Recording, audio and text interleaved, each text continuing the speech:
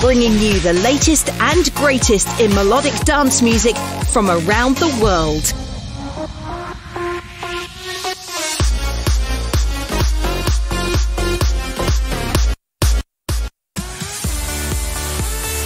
You're listening to Progressed Sessions with George McCauley.